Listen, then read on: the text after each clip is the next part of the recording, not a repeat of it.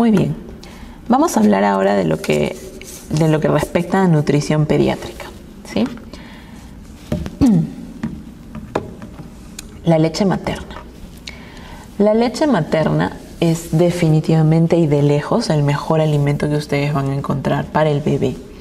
Sin embargo, hay diferencias entre el calostro, que es la primera leche, la leche de transición, que se aparece más o menos entre la primera semana, 5 a 15 días para ser más exactos, y la leche madura que aparece después de las primeras dos semanas. Entonces, la leche materna o calostro es la que aparece en los primeros 5 días.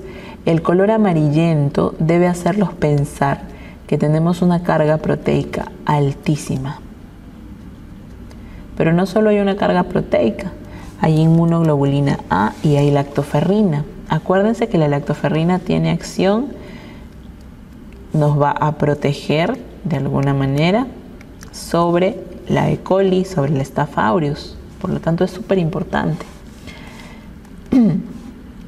La leche de transición tiene más lactosa que el calostro, tiene más grasa que el calostro y por lo tanto tiene calorías. ¿sí? Evidentemente tiene menos proteínas que el calostro. Nadie le va a superar al calostro en proteínas. Eso métanselo en la cabeza. El calostro, por definición, es proteína. Es más, si quieren, piénsenlo así. El calostro es una leche proteica. La leche de transición es una leche grasa. Y la leche madura si bien es cierto, también es una, es, una leche rica en ácidos grasos insaturados, la leche materna madura, o sea, la leche que siempre vamos a tomar, es la leche rica en hierro. Son sus mejores componentes, por eso es importante que lo recuerden de esa manera siempre. Aquí, por ejemplo, les hacen diferencias de la leche madura, del calostro y de la leche de vaca. ¿no? Miren la cantidad de calorías que tiene, por ejemplo, el calostro. Sin embargo, miren la cantidad de proteínas que tiene el calostro, altísimas. Miren, sin embargo, la leche de vaca tiene más, sí, tiene más, pero son altamente alergénicas. Es completamente diferente a las proteínas que nosotros tenemos en el calostro. Con respecto a los carbohidratos, definitivamente en en la leche madura que les he dicho que tenemos más grasa, ¿sí? Vamos a tener mucho mayor porcentaje de calorías o carbohidratos o como le puedan eh, llamar porque finalmente son equivalentes. Igual aquí miren, grasa predominantemente. Em, lo del agua no es muy relevante, se dice que el calostro tiene más agua, pero miren casi nada más, 87, 88, 88. Y finalmente la, concentración de hierro definitivo, eh, miren, es 70 microgramos cuando es calostro, pero es 3 miligramos por decilitro, lo cual es altísimo. Por lo tanto, nosotras nunca deberíamos decirle a las mamás que dejen de darles de lactar. Aunque estén tomando la medicación que estén tomando, los, los bebés me refiero porque obviamente hay medicaciones que, que, pasan a través de la leche de la mamá y si nosotros damos la indicación de que no, no lacten pero me refiero al bebé. Si está tomando suplemento de hierro, igual que le dé lactar. Si está comiendo, igual que le dé lactar. No suspendamos la leche materna. ¿Ok? Sobre la técnica de lactancia es importantísimo para, para nosotros poder entender el, por qué es tan importante el, el apego. Es que tiene que haber una buena técnica de lactancia. ¿sí? De las cosas que siempre, que siempre se preguntan y que siempre están ahí marcadas en, las personas que se, encargan de realizar estos exámenes, es la eversión de los labios del bebé. Eso siempre es algo que, tiene que realizarse y, es, y tiene sentido porque en verdad los labios evertidos evitan que la mamá tenga grietas, evitan que el niño muerda, evitan que el niño lastime, obviamente inconscientemente, la mamá de la mamá. Entonces, por eso es que es tan importante y tan preguntado que los labios estén invertidos. ¿sí? Em, contraindicaciones la leche materna. De la lactancia en general, ¿no? Por supuesto, una galactosemia y la enfermedad de eh, orina olor jarabe de arce es una contraindicación, pero estas, por ejemplo, en países como nosotros, son contraindicaciones relativas. Hay muchos estudios que dicen que es más saludable para los niños tener, eh, digamos, una lactancia de mamá y poder tener toda la, nutrición y todo lo que proteicamente esto significa, a no recibirlo porque la mamá es VIH. Obviamente esto se hace siempre bajo monitoreo de la carga de CD4 y de los linfocitos y de la carga viral para poder autorizar o no. Lo mismo sucede con el HTLV1. Si la mamá está recibiendo quimioterapia o radioterapia, obviamente eso sí es una contraindicación, no se va a recibir. Si la mamá está en UCI, tampoco va a dar de lactar, ¿no? Listo. Con respecto a los requerimientos nutricionales, es importante que tengamos claro que se dan por edad. Miren, acá es súper importante porque es diferente las kilocalorías por kilo por día que se necesitan de 0 a 6 meses, miren, casi ciento, más de 100 que las que se necesitan cuando ya llegamos a los 13, 16 años. O sea, ni siquiera es la mitad, miren, es menos de la mitad. Y obviamente también varía si eres niña o si eres niño. Definitivamente también va a tener algún tipo de repercusión. Igual, miren, mientras más pequeñitos son, de 0 a 6 meses, la cantidad de em, proteínas que se necesitan. Y cuando ya va siendo más grande, la cantidad de proteínas que necesitas. Con respecto al requerimiento em, de fluidos, ¿no? digamos al, requerimiento de líquidos, siempre utilizamos esta fórmula que se llama de Holiday Segar. ¿ya? Eh, a veces parece súper fácil leerla, pero es importante que lo sepan aplicar. Acá, por ejemplo, miren, si mi niño pesara 28 kilos, entonces aplicando este principio, yo diría, por los 10 primeros kilos que es este primer principio, yo debería tener 100 mililitros por cada kilo. O sea, ¿cuánto? Vamos a ponerlo para este lado. Deberíamos tener aquí 1000 mililitros. Vamos a los siguientes 10 kilos. Primeros 10 kilos, segundos 10 kilos. Como pueden ver aquí, en los siguientes 10 kilos tengo que hacer 50 mililitros por cada kilo. Entonces aquí tendré 500 mililitros más. Y finalmente 10, 20, ¿cuántos me faltan? 8 kilos. Por cada kilo, vamos aquí, son 20 más. Perfecto aquí tendré 160 mililitros. El requerimiento promedio normal de este niño será 1660 mililitros. Es su requerimiento basal. Ojo, el Holiday Segar sirve para el requerimiento basal. Quiere decir que cuando hay pérdidas, yo le tengo que sumar las pérdidas a este requerimiento basal. Ojo. Muy bien. Vamos ahora con un tema que también es súper importante, que es el tamizaje de anemia. Actualmente el tamizaje de anemia se está haciendo en los cuatro meses, ¿sí? Eh, acuérdense que nuestro país está repartiendo micronutrientes y hierro en niños menores de 36 meses de manera obligatoria. Y acá nuevamente hacen una distinción. ¿Se acuerdan que habían curvas para prematuros? Bueno, también hay distinción en definiciones para prematuros. Los niños prematuros van a empezar a administrarse esta medicación del sulfato ferroso desde los 30 días hasta los 6 meses. La dosis es 2 miligramos por kilo por día, ya sea de sulfato de hierro polimartosado, idealmente 6 meses continuos. ¿Ok? Listo. Estos 6 meses continuos eh, definitivamente deben respetarse como tal. O sea, nosotros tenemos que asegurarnos de que a la mamá que le estamos dando este mes, que les digo, el, el sulfato ferroso, pues lo continúe usando todo el mes. ¿ya? Y aquí van a venir unas preguntas que siempre vienen de las mamás, ¿no? ¿Y si tengo jarabe? ¿Y le puedo dar si tengo jarabe? ¿Y si tengo gotas? El Ministerio de Salud tiene jarabe y tiene gotas, pero es importantísimo que ustedes conozcan la concentración. En pediatría la concentración es la base de todos. El jarabe de Ferranín del Ministerio de Salud viene de 75 miligramos en 5 mililitros, ¿ok?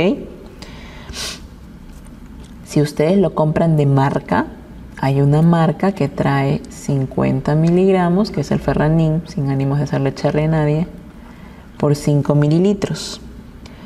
Ustedes normalmente van a encontrar las gotas por el Ministerio de Salud a 25 miligramos por mililitro.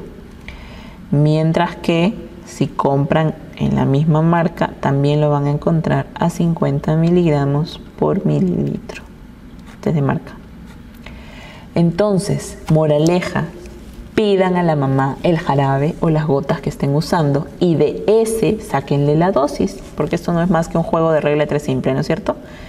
Ya, sáquenle la dosis de ahí, porque si no, pueden estarle dando completamente otra cosa y otra dosis y estar pensando que han dado mal el tratamiento o que el tratamiento no funciona, cuando en verdad lo que ha estado mal es la prescripción y pasa muchísimo. ¿Ok? Listo.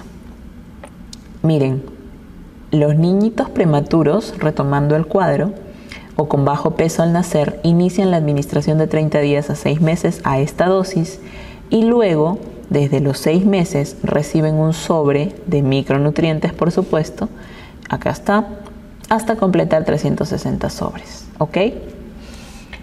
Si eres un niño a término que ha nacido con adecuado peso al nacer, arrancamos a los 4 meses igualito se les da hierro. Nuestro país está tan depletado que igual les estamos dando hierro. Lo mismo, seis meses continuos. Y luego de los seis meses, le damos un sobre al día hasta completar los 360 sobres. ¿Correcto? Listo. Ahora tratemos con hierro. ¿Qué pasa si eh, salió y tiene anemia? Ya con el tamizaje que les hicimos. Ok, Nuevamente diferenciemos prematuros de nacidos a término. Si es prematuro empezamos a los 30 días con la dosis que es más alta, son 4 miligramos por kilo.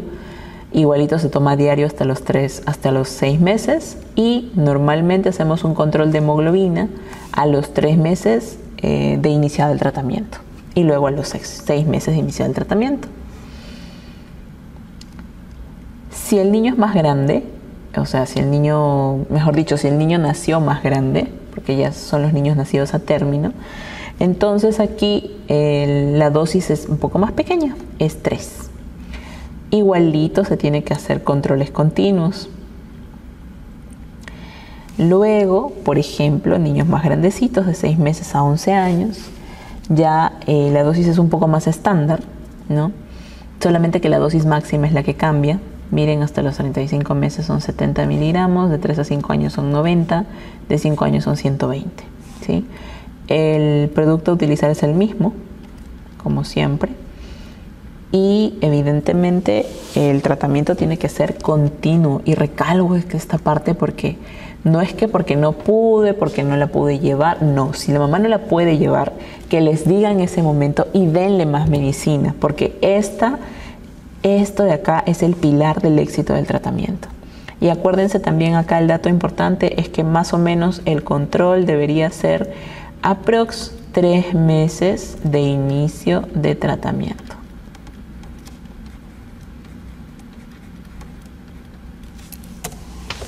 Muy bien, ahora vamos a la otra parte, a cuando el niño está desnutrido. Lamentablemente nuestro país todavía tiene altos índices de desnutrición, como les comentaba en, la parte de, los, de los controles antropométricos. Y, seguimos teniendo como cofactores muy frecuentes como un país en vías de desarrollo, a pesar de ya cada vez salir más, más de ese parámetro, las infecciones, ¿sí? bacterianas, la sepsis también es una infección. Entonces, eh, hay que entender que para nosotros clasificar la desnutrición, obviamente decidimos si es moderado o si es severa. Si es severa, entonces probablemente estemos hablando del kwashiorkor. ¿no? Eh, Acuérdense, como les dije, la medida de la circunferencia del brazo es importante. Aquí está, 115. Y también usamos dos score, el peso para la talla y la talla para la edad. Ambos nos hablan de desnutrición. ¿sí? Como siempre, miren, será severa cuando esté por debajo de tres desviaciones estándar. Listo. Etiológicamente nosotros diremos que es primaria cuando hay un aporte inadecuado de, nutrientes y será secundaria cuando ocurre algo que impida la correcta digestión o absorción de esos nutrientes. ¿Ok? Obviamente es mixta cuando ocurren ambos. Entonces, cuando hablamos de desnutrición aguda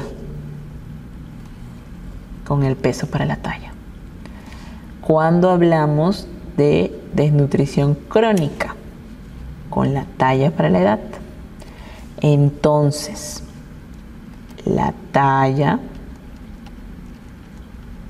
nos da cronicidad y el peso nos da agudeza. ¿Listo? Muy bien.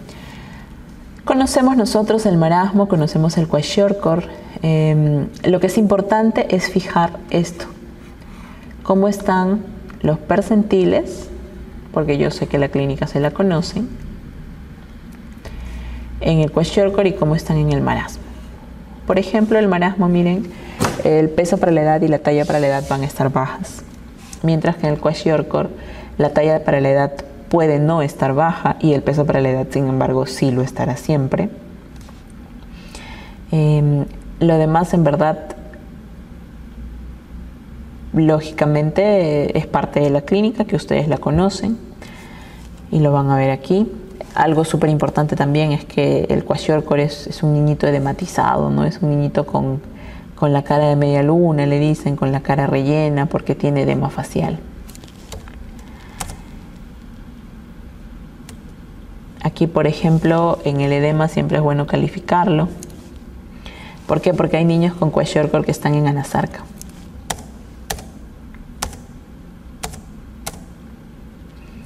Este nano, por ejemplo, es un niñito con marasmo. Y este es un niñito con kwashiorkor.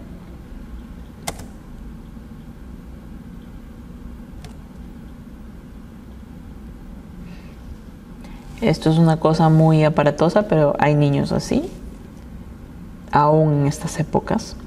Probablemente no en nuestro país, pero sí, sí en lugares de muy extrema pobreza y muy mal acceso a la alimentación. Acá tenemos otro niñito con marasmo y este niñito con kwashiorkor. Cuando nosotros tenemos a un desnutrido severo, porque ambos son desnutridos severos, eh, tenemos que tener días de estabilización. ¿Por qué? porque no podemos darles comida como que todo junto, porque lamentablemente su organismo ha metabolizado ya y ya tiene clara la forma de manejar este metabolismo de, de, los alimentos o de la ganancia de peso, que lamentablemente no podemos contrarrestar porque más bien haríamos un daño y ahora lo vamos a ver por qué. Por eso hay dos fases, la fase de estabilización y la fase de rehabilitación. En los primeros días lo que va a pasar es que hay hipoglicemia. Miren, se baja la glucosa, se baja la temperatura, el niño está tremendamente deshidratado y por lo tanto tiene los electrolitos también bajos. Quiere decir que durante la primera semana, esto se resume en la primera semana, nosotros tenemos que concentrarnos en estabilizar al paciente, optimizar la glucosa, optimizar la temperatura, corregir electrolitos. Obviamente tenemos que cuidarlos de las infecciones porque no deberían infectarse. Y podemos empezar a insertar algunos micronutrientes sin hierro. ¿Por qué? Porque el hierro tiene un peso molecular alto. Entonces no es lo primero que deberíamos usar y encima el hierro eh, se transporta o utiliza como medio de transporte de todas maneras a la hemoglobina y obviamente ahí está involucrado el oxígeno. Entonces no vamos a ayudar a mejorar. ¿sí? Recién después de la primera semana se puede utilizar el hierro porque ya completamos todas las reservas de los otros micronutrientes. Evidentemente, en la fase de rehabilitación puede ser la estimulación sensorial, se recuperar el crecimiento, y por supuesto se les prepara un seguimiento a estos chicos. Hay un plan que se tiene que hacer. Con respecto al síndrome de realimentación, ¿qué es lo que ocurriría si nosotros hipercargamos de, metabolitos y de micronutrientes a estos chicos que están tremendamente eh, comprometidos? Entonces evidentemente podemos causarle sobrecarga hídrica y podemos hacer que los electrolitos en lugar de mejorar, pues desciendan y desciendan mal. Acuérdense, baja el fósforo, baja el magnesio y baja el potasio. Este síndrome de realimentación, como ven aquí, finalmente eh, en lo que termina y, lo que es el detonante a la vez de todo esto es el sistema de renina-angiotensina-aldosterona. Eh, ¿Por qué? Porque nosotros tenemos un aumento de proteínas y de síntesis de glucógeno que finalmente va de alguna manera esto termina siendo un feedback y un alimentador a la vez de la secreción de insulina y esto aumenta la captación de glucosa y aumenta la captación del fósforo. Y sin embargo como tiene tanta em, digamos tal nivel de captación entonces miren cómo termina sacando todo a la baja. Lo mismo si nosotros los tenemos en ayuno prolongado, que es finalmente como ellos han estado todo el tiempo, pues la insulina baja, el glucagón sube y el cortisol también. Y eso causa un detonante para este dichoso sistema. Y encima comenzamos a consumir todas nuestras reservas y a tener un catabolismo proteico altísimo. Se depletan todos los electrolitos y así. Estas, por supuesto, son las consecuencias, ¿no? Eso lo conocemos. Con respecto a las vitaminas, es importante tener claros puntos. Por ejemplo, la vitamina A es, es la vitamina de los ojos y de la piel. De todas maneras. La vitamina B1 normalmente tiene que ver con síntomas neurológicos la vitamina D3 son las 3D, dermatitis, diarrea y demencia, la conocida como pelagra. La vitamina B12, que todo esto es el complejo B. Mm, tiene mucho que ver con la anemia megaloblástica y con sistemas con el tracto gastrointestinal, siempre. La D habla de raquitismo,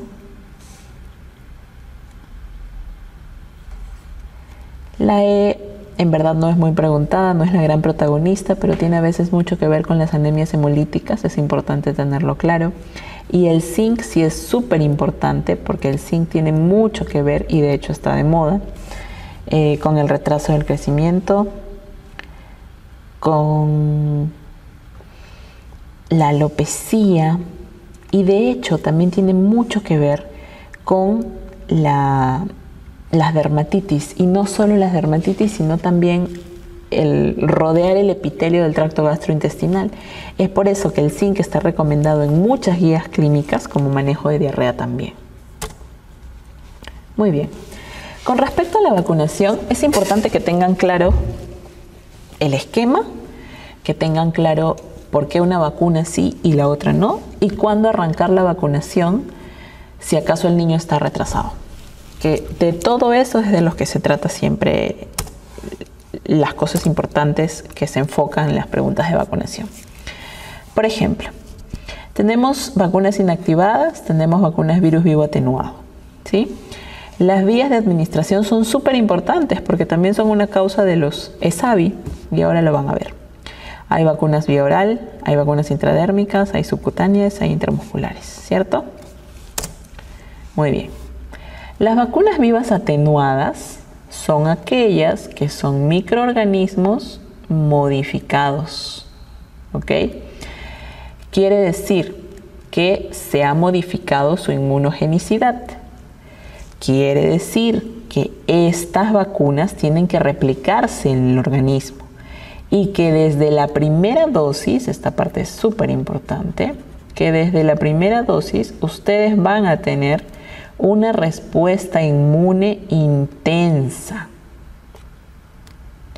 muy similar a la que, a la que ocurre en la, en la infección, por supuesto. La presencia de anticuerpos de cualquier tipo puede reducir la respuesta de la vacuna, es verdad, y obviamente estas no son para inmunosuprimidos. ¿Ok? ¿Quiénes son estas vacunas? La de la polio oral, ojo, porque también hay polio intramuscular.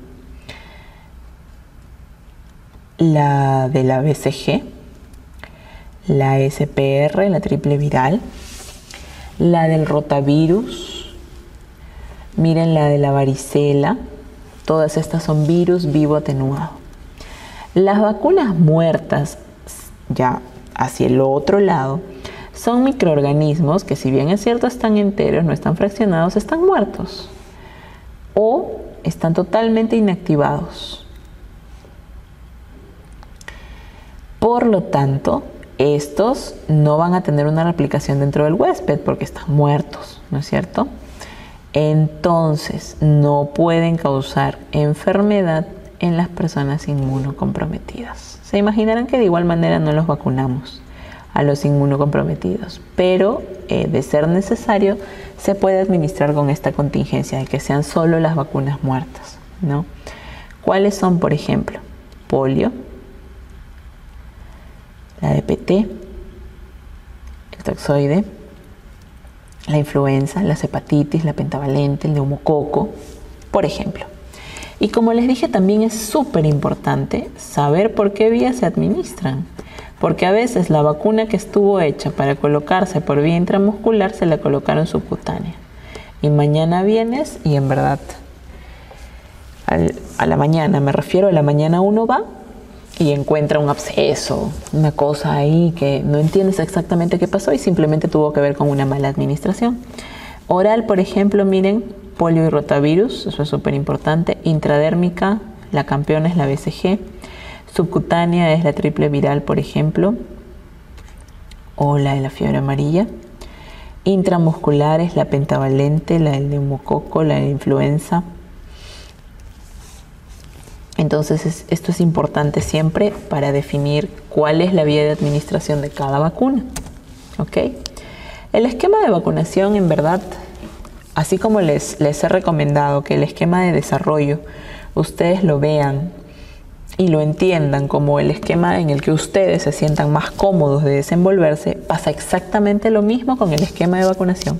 Hay esquemas del Ministerio de Salud que son súper didácticos para que ustedes entiendan que esto funciona más o menos a modo de una escalera. Y miren, al nacimiento son solo dos, BCG y hepatitis. Y de los dos, los cuatro y los seis meses, todo se repite. Miren, a los dos meses colocamos una dosis de pentavalente.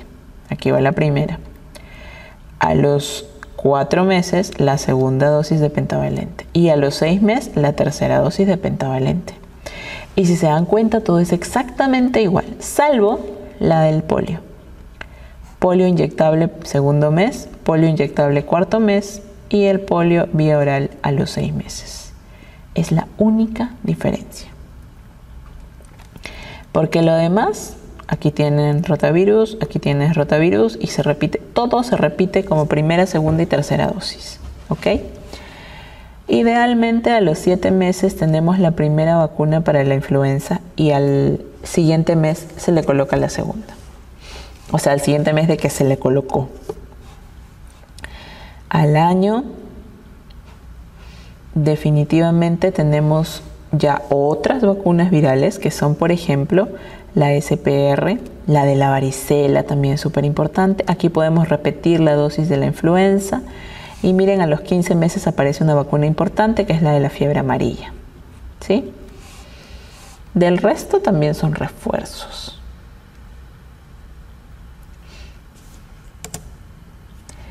Como les dije, hay situaciones especiales. Por ejemplo, si son pacientes portadores de VIH o nacidos de madres con VIH, evidentemente lo que se utiliza es de virus vivo atenuado. Aquí la única, el único gran problema en nuestro país es la BCG. ¿no? Por eso es importante que establezcamos, como dice aquí abajo, si el niño está en estadio SIDA o solamente con la infección del VIH. Eso es lo que se tiene que preguntar para vacunar. Si estamos aquí, preferentemente no lo hagamos. Si estamos aquí, dele, no pasa absolutamente nada. Es prácticamente el mismo calendario, ustedes mismos se van a dar cuenta. ¿Cómo reiniciamos una vacunación interrumpida? La BCG se puede colocar en líneas generales hasta que cumple el primer mes. Censo estricto 28 días de nacido. El, virus de la hepatitis B Evidentemente, si no se administra en las primeras 24 horas, ya no se debe administrar. Se administra ya con la pentavalente, que finalmente es lo mismo. La pentavalente se coloca apenas se capte al niño. Quiere decir que deberíamos captar a todos los niños hasta antes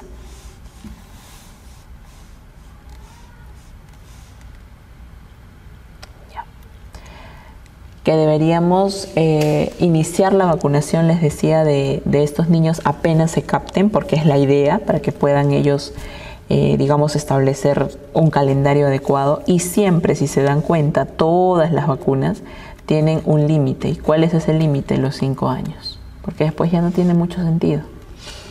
Igual que el rotavirus, miren. El rotavirus se coloca solamente entre los... Eh, la primera dosis idealmente es hasta el mes, ¿no? Pero em, la segunda dosis solo puede colocarse hasta los 7 meses y 29 días. ¿Por qué? Porque después de ese tiempo es muy improbable que hagas una enfermedad agresiva por rotavirus. Y acuérdense que para eso es la vacuna. O sea, si yo me pongo la BCG no es que no me va a dar TB, lo que no me va a dar son las formas agresivas de TB. Funciona igual. Si yo me pongo vacuna para rotavirus, lo que estoy haciendo es evitar que eh, yo vaya a tener algún tipo de, de infección grave por rotavirus, o sea, que me lleve al shock. ¿sí? Muy bien, les decía que con los ESAVIS es súper importante que ustedes establezcan para qué o por qué se tiene que reportar un ESAVI. Y acá hay dos cosas. O confirmas o descartas. ¿Qué tienes que descartar? Sobre todo vía de administración.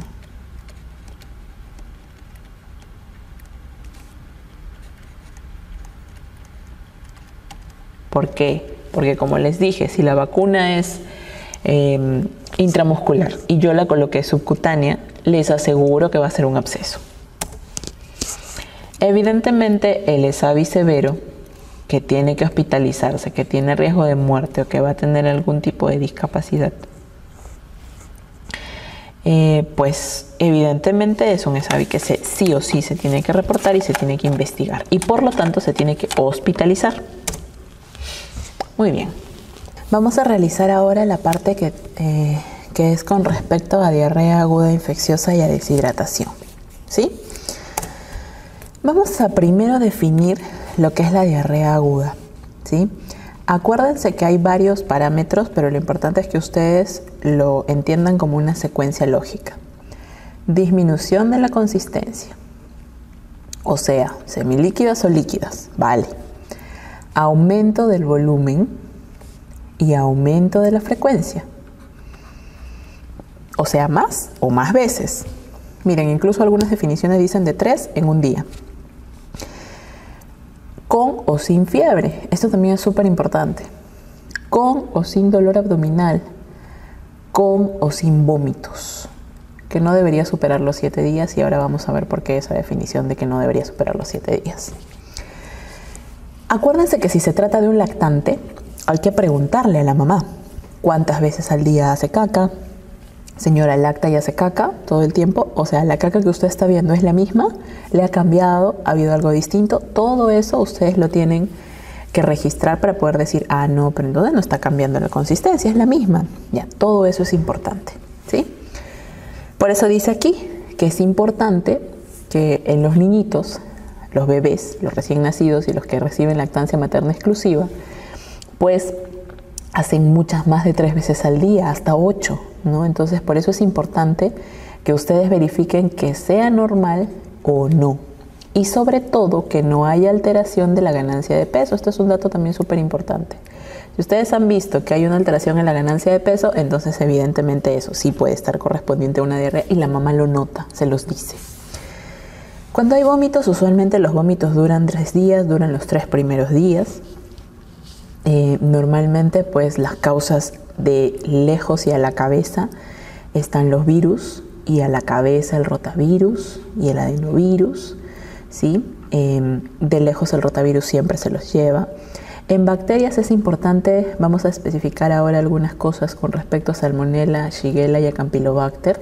Acuérdense que eh, el Campylobacter es un germen súper importante en niños menores de 3 años. Acuérdense que la salmonella y la shigella son disentéricas, o sea, este dolor abdominal, esta fiebre, estos vómitos van a aparecer en una diarrea disentérica y en los protozoos a la cabeza la yardia. Esto del tiempo les decía que era importante porque decimos que es diarrea aguda cuando tiene menos de 7 días y no supera los 14.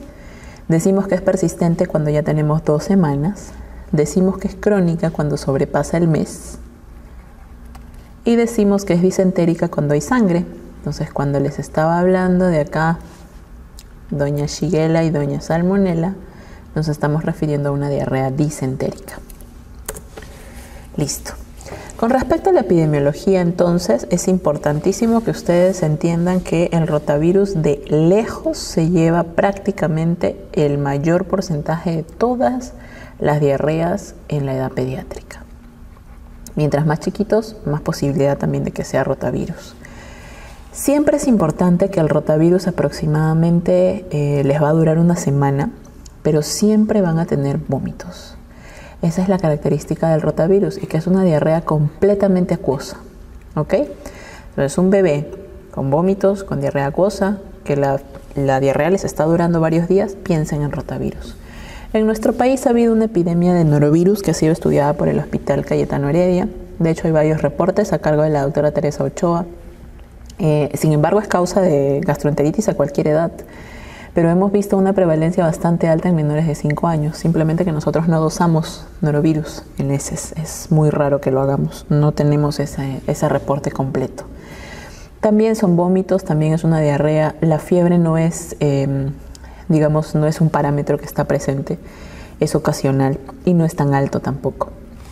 No hay forma de saberlo, simplemente descartando que sea algún virus eh, muy conocido que se puede tipificar como el rotavirus, pues diremos es otro virus. ¿no? no hay forma de que yo les diga esta es una diarrea por norovirus. Acuérdense que la shigella, como les decía, es una, es una bacteria que causa disentería en niños menores de 5 años. ¿sí? Causa fiebre alta, causa anorexia, causa dolor abdominal, una diarrea acuosa y disentérica. Definitivamente es una diarrea intensa que, que pone al paciente tóxico. Esa es la palabra. Luce tóxico. Entonces es importante tener, eh, tener claro cuándo puede ser una disentería. ¿sí? ¿Qué quiero decirles con esto? Que esta, esta sospecha sí les debe hacer solicitar un coprocultivo porque la conducta cambia. El Campylobacter también es responsable de una, de una serie importante de hospitalizaciones, es una bacteriemia súper frecuente, eh, definitivamente también, eh, también es, una, es una bacteriemia que causa una diarrea acuosa, que causa una diarrea disentérica, una diarrea que puede o no tener compromiso sistémico. Y como les decía es frecuente en niños menores de 3 años, alguna literatura como dice acá de 2 eh, de dos años. Si bien el contacto epidemiológico son las aves, no quiere decir que ustedes tienen una paloma en la casa, la jaula está ahí y el niño cogió la caca de la paloma. No. Ahora más que nunca ustedes saben y están conscientes de que eh, muchos gérmenes se transmiten en el aire, ¿sí? Entonces tienen muchos gérmenes que eh, vuelan a través de, que les digo, la casa del vecino, de repente desde la plaza de armas y ustedes viven cerca, vuela o, alguna otra ave estuvo trasladando esos, esas gotitas o esos, esos virus que viajan en, finalmente en, márgenes amplios de rangos. Eh, y eso es lo que a veces hace que finalmente el niño que cogió algo que estuvo infectado con eso, pues se lo llevó a la boca y listo, Campylobacter. ¿no? Entonces es importante que ustedes verifiquen eh, aquí también un coprocultivo, porque el tratamiento es diferente y es súper sencillo. Salmonela, por ejemplo. Igual, la salmonela es una zoonosis, pero también es una causa muy importante de un paciente que luce tóxico. Este también luce tóxico. Pero este, por ejemplo, es una eh, diarrea que habitualmente está en un paciente que ya pasó una fase aguda de diarrea y que sigue y sigue y no para y sigue luciendo mal. Si estamos frente a un inmunosuprimido puede ser una enfermedad invasora, o sea, la salmonela puede aparecer en el hemocultivo. Y ahí sí se va, los niños se van. Esta, esta último, Cryptosporidium y Yardia, el Cryptosporidium usualmente sí en los inmunosuprimidos, niños con leucemia, niños con cáncer, cáncer infantil. Eh, y debemos sospecharla cuando tenemos diarreas prolongadas. Como ya vieron, diarrea prolongada tiene que ser de más de una semana, ¿verdad? Eh, la Yardia lambdia es importante, dense cuenta también que tiene que decir quiste de forma infectante, porque de lo contrario no hay una forma infectante. La, la Yardia lambdia no siempre, se recibe, no siempre va a recibir tratamiento. ¿ok? Acuérdense que es, es como una molestia del cólico del lactante, ¿no? Flatulencias, diarrea fétida, hay esteatorrea y hay pérdida de peso, sobre todo porque a veces las mamás dicen, bueno, así será, pues mijito, cada rato tiene diarrea. Y no es que cada rato tiene diarrea, no se cura nunca de esa diarrea, porque todo el tiempo de repente le damos tratamiento para cualquier otra bacteria, menos para este parásito. Listo. Entonces, cuando ustedes se enfrentan ante una diarrea, dirán, ¿es acuosa o es con sangre? Si es con sangre, ya les dije cómo se llama, disentérica. Listo. Si es acuosa, ¿será secretora o será osmótica? Si será secretora, entonces pensemos en cólera, ya no hay, definitivamente. En la E. coli, sí, todavía se está presentando. Shigella, es esperable. Y la osmótica, por ejemplo, el virus, rotavirus, adenovirus, la yardia, como les dije, también puede causarla. Aquí es importante laxantes o purgantes. Siempre pregunten. La muy conocida lactulosa. Ay, yo le di lactulosa a mi hijito, doctora, porque estaba muy estreñido. Y le dio, y le dio, y le dio, porque creen que es un jarabe de diario. Y entonces, osmótica. ¿No es cierto? Es una diarrea osmótica. Es, es, es esperable que te presente eso. Lo suspenden y se acabó la diarrea. Listo. Y cuando están en el otro brazo, en, la, en, el, en el área de la disentérica, entonces puede ser aquí invasiva o no invasiva. Si es invasiva, entonces diremos, eh, pensemos en una shigella, en una E. coli enteroinvasiva, en una salmonella notífica. Aquí está el Campylobacter, miren. Eh, está la Yersinia, que también no es menos importante. Y si es no invasiva, puede ser cualquiera, y sobre todo aquí el Clostridium difficile. Es importante también eh, es importante tenerlo en cuenta. Por eso cuando estamos sospechando de una disentería, chicos, siempre, siempre soliciten copro. Ese sí es un motivo para solicitar copro, porque de lo contrario, con los leucocitos, o sea, la reacción inflamatoria, es más que suficiente. Pero no, entonces hay que solicitar coprocultivo. Más o menos para entender un poco la fisiopatología, miren, este es el agente infeccioso y este es el enterocito.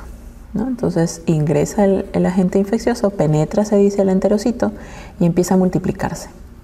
Multiplicado, empieza a salir del enterocito y entonces vienen nuestros polimorfonucleares, vienen nuestros linfocitos, nuestros plasmocitos a pelearse y empiezan a envolverlo, de tal manera que producen inflamación y este es el momento en el que ocurre la disentería.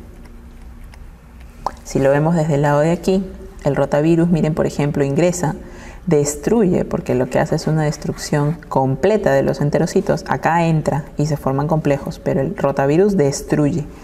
Por eso, al destruir toda la pared del enterocito, como ven aquí, entra la cripta y definitivamente esta migración hace que se pierda un montón de agua osmótica. ¿Listo? Más lógico, ¿no es cierto? Ok, entonces, ¿cómo nos deshidratamos?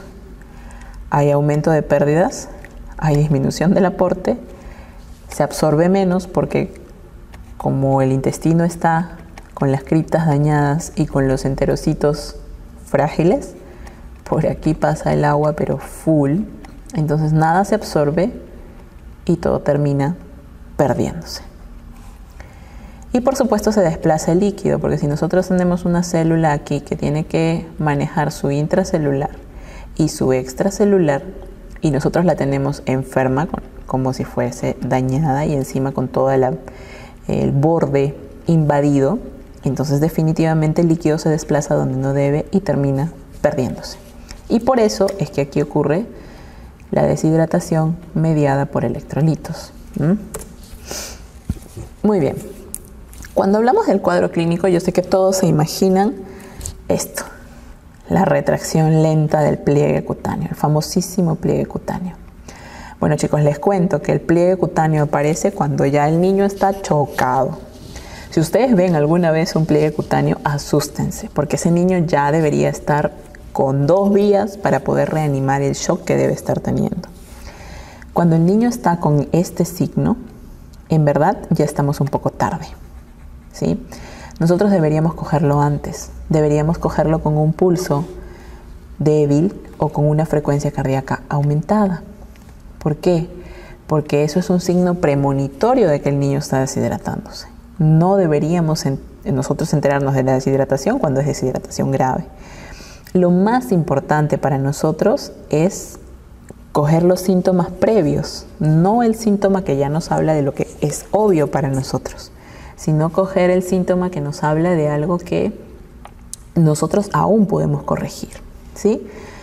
Evidentemente los ojos hundidos, eh, los chiquitos lloran sin lágrimas, es cierto, lloran sin lágrimas. Tienen las mucosas secas, eso es muy importante también, siempre háganlos abrir la boca, sacar la lengua. Em, y evidentemente la presión no debería ser un marcador, porque cuando el niño está hipotenso, miren aquí nuevamente, ya estamos en una deshidratación grave. ¿ok? Entonces, más bien busquemos los signos previos, busquemos que el niño esté, miren, prefiero que esté irritable a que esté letárgico, porque el letárgico ya es un niño deshidratado severo. En cambio, un niño irritable, ojo, irritable no es que llora, todos los niños lloran. Irritable es un niño que no consigue calmarse con la mamá. Eso es un niño irritable. Entonces, este niño definitivamente necesita eh, mayor atención porque algo le está fastidiando, algo le está molestando y probablemente es el nivel de deshidratación que tiene. ¿Listo? La impaciencia por beber, la sed, este sí es un signo súper importante. ¿Ustedes han probado los sueros de rehidratación oral? No todos son ricos, de hecho la gran mayoría no lo son.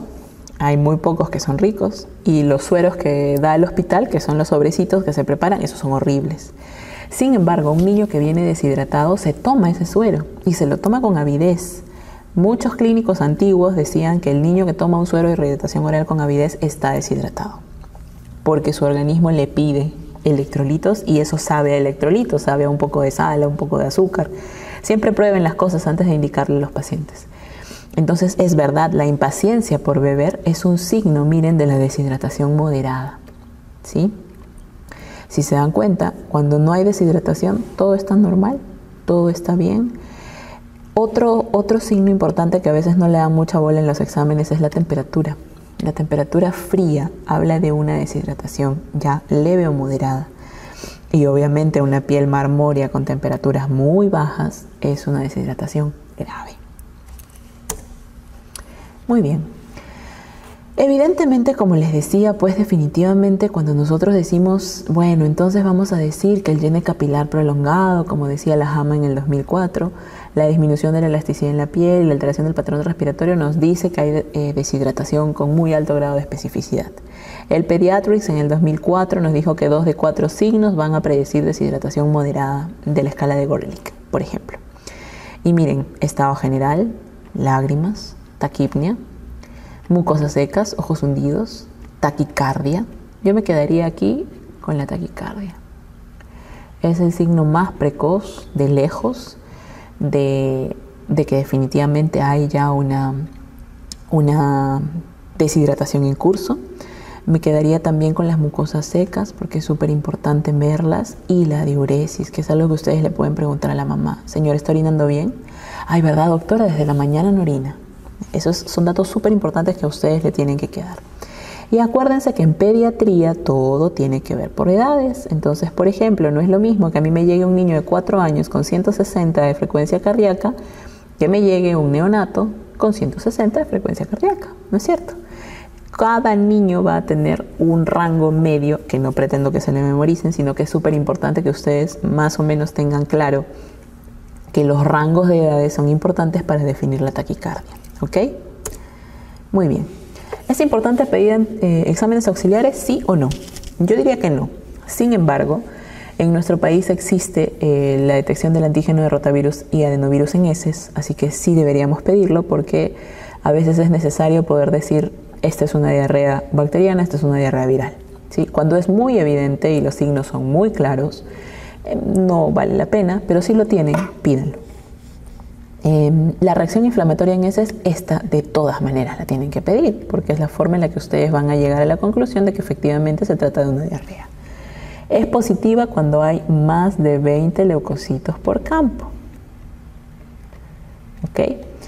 Eh, evidentemente acá me tienen que describir si hay polimorfonucleares bacterianas, si hay mononucleares virales. Si hay hematíes, estoy pensando en que es una disentérica. Y si es disentérica, coprocultivo. ¿Sí?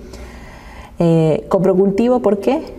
Por diarreas disentéricas, como lo acabo de mencionar, si están sospechando que hay una sepsis, si estoy hospitalizando a un paciente y si es un inmunosuprimido. Chicos, si es un niño con cáncer, tienen que pedir un coprocultivo. ¿Ok? Si la clínica es desfavorable, por supuesto debo sospechar. ¿En qué estoy sospechando? Miren, para pedir hemograma, PCR, PCT. Sepsis, ¿no? Tengo que medir la diuresis, la densidad urinaria. ¿Un examen de orina me es útil? Sí, me toma un poco de tiempo, pero me es útil. ¿Por qué? Porque mientras más concentrada, más deshidratado. Electrolitos séricos, por supuesto, no se olviden nunca de pedir sodio, de pedir potasio y de pedir urea y creatinina. Básico. Entonces, la mayoría se van a autolimitar. ¿Por qué? Porque son virales, definitivamente. Si tengo que reponer tempranamente, pues te repongamos con suero de rehidratación oral, no con bebidas deportivas. No. Ni el Gatorade, ni el Esporate, ni la espirulina que vienen los papás con sus novedades. ¿Por qué? Porque tienen mucha osmolaridad. Ahora van a ver los contenidos de la osmolaridad. No sirve. Las bebidas gasificadas, Coca-Cola, Inca-Cola, la gaseosa que quieran, el Esporate, el Gatorade, tiene la cantidad de azúcar que el adulto requiere, por eso los adultos a veces sí les va bien cuando toman eso, pero los niños no.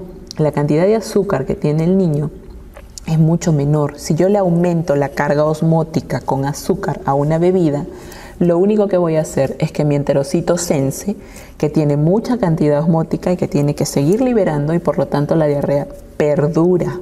Y lo único que van a conseguir ustedes es que empeore en vez de que mejore. ¿Ok?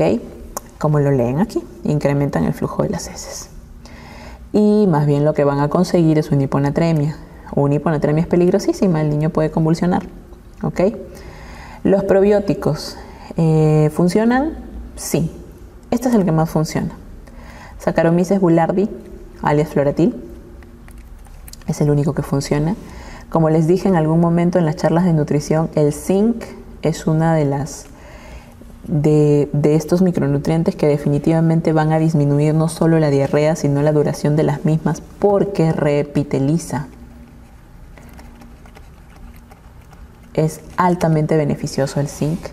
Y el ondansetron está recomendado en las guías clínicas internacionales. Nosotros no lo usamos de manera rutinaria. De hecho, no existe en muchos lugares en vía oral porque obviamente el manejo es para la vía oral. ¿Por qué? Porque reduce la necesidad de fluidoterapia. Si yo paro las náuseas, que como leyeron en las primeras diapositivas ocurren en los primeros tres días, voy a evitar que el niño venga a la emergencia, voy a evitar que se deshidrate y voy a evitar que no se, no se nutra adecuadamente. ¿Ok? Acuérdense que el suero de rehidratación oral ideal eh, no debe exceder los 150 milimoles por litro y la relación de sodio-glucosa debe ser el doble. Como ven ustedes, más o menos las molaridades de 240, 245 según lo que solicitó la Organización Mundial de la Salud en el 2002. Miren las molaridades de la Coca-Cola clásica. Les aseguro que así sea la cero, pues llega a 400 o 350, más o menos.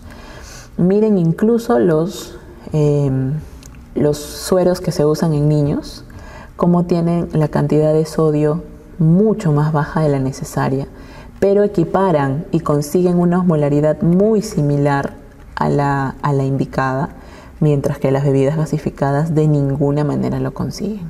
¿Ok? Muy bien. Eh, las soluciones, como siempre, deberían tener por lo menos 154 mil equivalentes de sodio. Acuérdense que el lactato de Ringer es lo ideal. Existe en el Perú, pero es costoso. No todos los lugares lo tienen. No lo sabemos manejar, perdón, no lo sabemos manejar adecuadamente. Entonces es mejor a veces usar cloruro de sodio, que es más seguro que la misma solución polielectrolítica, porque la cantidad que tiene de electrolitos, valga la redundancia, hace que tengamos que estar monitorizando de manera regular. ¿Sí? Miren los ojos hundidos. Miren las mucosas secas, sus labios están pálidos. Listo. El niño no está deshidratado. Plan A. ¿Qué hacemos? Reponemos pérdidas, le damos a tolerancia agüita, 2 a 5 centímetros, eso es como una cucharita por kilo por cada vómito que realice y 10 por cada diarrea que realice. Esta es la reposición. De esta reposición estamos hablando aquí. No se suspenda la lactancia nunca, como siempre les he dicho. No se suspende la lactancia, la lactancia continúa. Eso no significa que no se suspende la leche. La leche extra que no venga del pecho de la mamá se suspende. La leche del pecho de la mamá no se suspende. Y que coman. a veces les decimos, no señora, no le vaya a dar nada. No, que coman.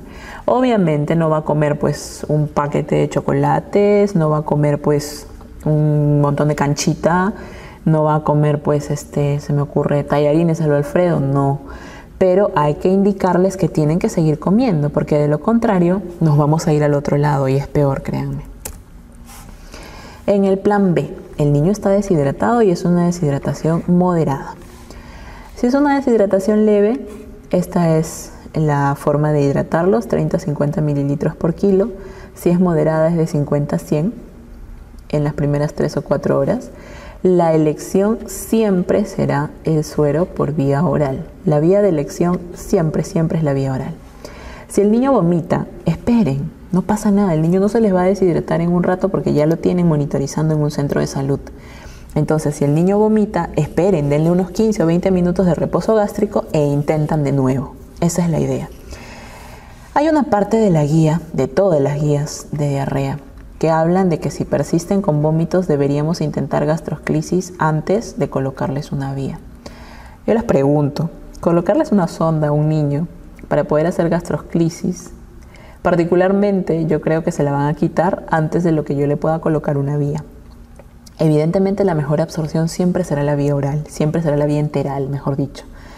Pero lamentablemente eh, nosotros no tenemos la educación, incluso en muchas mamás que no van a colaborar, eh, para colocarles la sonda a sus niños. A veces esto hace que intentemos, yo prefiero, por ejemplo, esperar esto que vomita antes de decidir colocarle la sonda nasogástrica y hacer la gastroscrisis. Sin embargo, tengan en cuenta, porque es parte de la guía, es la indicación que, da la Organización Mundial de la Salud, lo de la gastroscrisis, antes de iniciar la vía endovenosa. ¿Ok? Eh, y bueno, como ven que si no tolera la vía oral o es moderado, entonces eh, se inicia el lactato de Ringer, idealmente la polielectrolítica o el cloruro de sodio.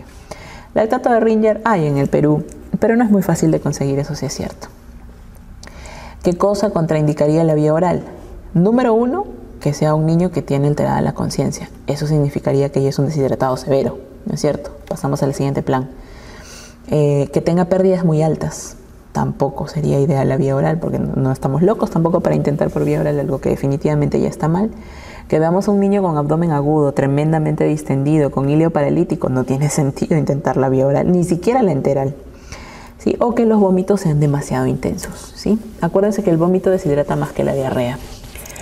En el plan C ya estamos hablando de un niño que está deshidratado severo. Entonces aquí nos tenemos que hacer dos preguntas. ¿Hay shock o no hay shock? Si sí hay shock, entonces primero coloquemos un bolo. El bolo será de 20 mililitros por kilo y ojo, el bolo es en 5 a 10 minutos. La enfermera no es que lo pone en la bomba y la bomba lo va a pasar en una hora, no. El, bolo se pasa en 5 o 10 minutos y no, no es bolo. Esto de aquí, eh, idealmente nuestro primer marcador, como les dije siempre, va a ser la frecuencia cardíaca. Pero a quién no le pasamos bolos de 20 por kilo? Al cardiópata al renal. El bolo de estos dos será de 10 por kilo. ¿Ok? Si sale del shock, continuamos con la hidratación rápida y a partir de la segunda hora nuevamente iniciamos la vía oral, que como les dije es la vía recomendada. ¿Ok? Si no hay shock, la hidratación rápida debe durar 3 horas, no más. En la primera hora colocamos la mitad de la hidratación, en la segunda hora 25 y en la tercera hora el 25 restante. El mantenimiento debe ser de una dextrosa al medio. Eh, acuérdense que los sueros eh, van a tener que ser definitivamente isotónicos. Acuérdense que eh, en los lactantes debemos administrar, debemos ser mucho más cautos por el volumen que ellos manejan. 30 mililitros por kilo en 30 minutos y luego 70 para no hacerlo todo de golpe como aquí y en niños mayores de 12 meses 30, 30 y luego 70. Muy bien.